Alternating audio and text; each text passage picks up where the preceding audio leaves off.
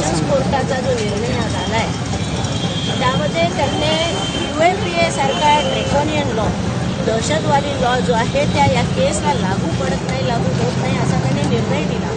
आणि हा एक आत्ताच आपण विचारलेलं की मोठा माइलस्टोन काय? तर हा एक मोठा माइलस्टोन आहे. कारण ह्या गोष्टीचा एक गौगवा सी बी आयने केला होता.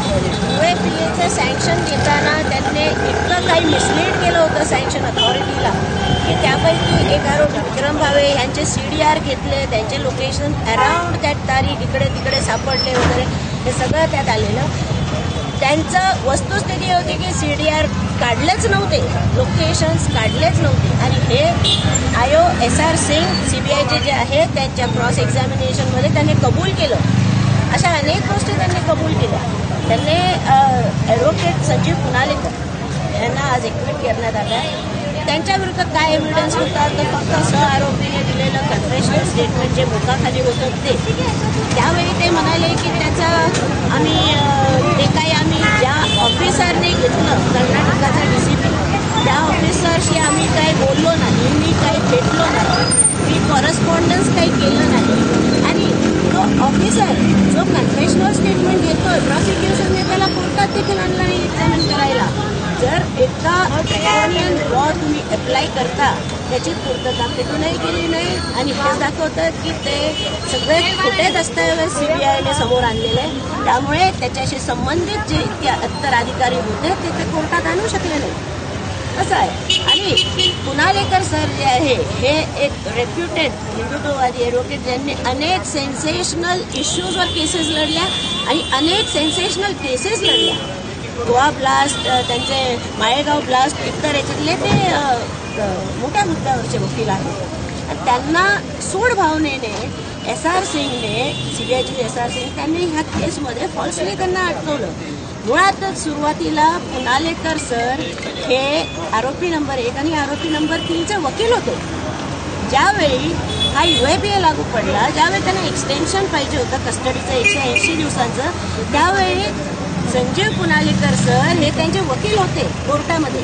तिथे कुठेही आय ओ एस आर सिंगने कोर्टात सांगितलं नाही की अशी अशी गोष्ट आहे. कंप्लेंट केली नाही.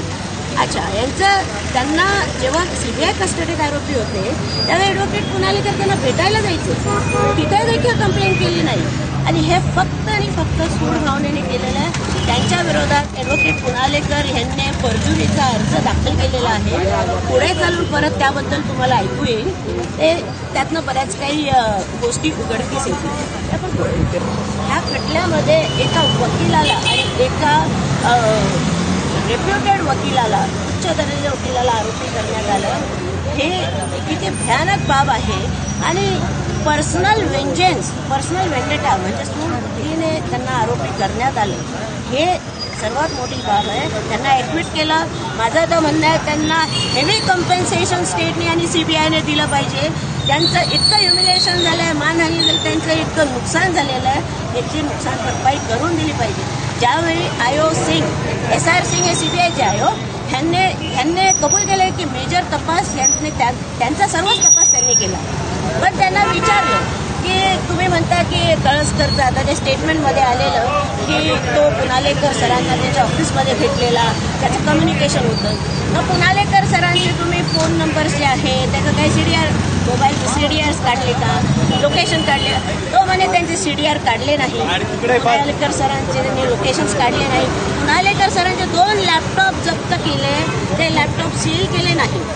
त्याने हे कबूल केलं की जप्त केलेले लॅपटॉप कोर्टाच्या मुद्देमालामध्ये त्यांनी आणले नाही मग ते जर कोर्टाच्या मुद्देमालामध्ये आणले नाही आणि त्या लॅपटॉपमध्ये महत्वाचं आहे आणि धमकीचं पत्र असा गोगवा त्यांनी आधी केला तर हेच दर्शवून देतं की त्यांनी किती शब्देवर खोटं बोललेलं आहे. आणि ज्यावेळी शब्देवर त्यांना विचारण्यात आलं क्रॉस एक्झामिनेशनमध्ये की कोणतं धमकीचं पत्र आहे का ते धमकीचं तर त्यांनी कबूल केलं की हेच पत्र सोडून दुसरं काही नाही आणि धमकीचं पत्र नाही पत्र कळलं की ते आमंत्रण पत्र आहे. की या तुम्ही आणि आम्ही दोघं मिळून आपण अंधश्रद्धेविरुद्ध लढा देऊ कोर्टामध्ये. माननीय सेशन्स कोर्टाच्या ह्या निर्णयाचा आम्ही रिस्पेक्ट करतो. आम्हाला हा मोठा दिलासा आहे. आणि आम्हाला एक एका एकतर्फे न्याय मिळाला आहे की यू ए पी ए लागू होत नाही हे त्यांनी देखील पाहिलं सर्व एव्हिडन्स पाहिला त्या जात पडल्यानंतर परंतु आम्हाला फार दुःख होतं की दोन जणांना ह्यापैकी जी शिक्षा लागली अगदी काही एव्हिडन्स नसताना किंवा खोटं एव्हिडन्स उभं केलेलं असताना त्यांनी टी आय परेड घेतलेली नाही आहे आणि फोटो ओळखला तर नऊ वर्षानंतर ओळखला परंतु अजून जजमेंट येणं बाकी आहे. जजमेंट सविस्तर वाचल्यानंतर कळेल बोलता येतं पण एक गोष्ट नक्की आहे की आम्ही हायकोर्टापुढे नक्की जाऊ ह्या लोकांसाठी आणि मला विश्वास आहे की हायकोर्टापुढे हे सर्व आम्ही एव्हिडन्सेस ठेवल्यानंतर त्यांची सुटका होईल.